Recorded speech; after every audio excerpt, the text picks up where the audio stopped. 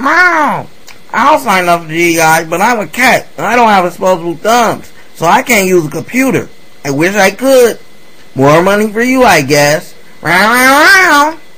If you like this video or other of my videos, or if you just want to sign up for GDI, go to my page, ToryGrove.com.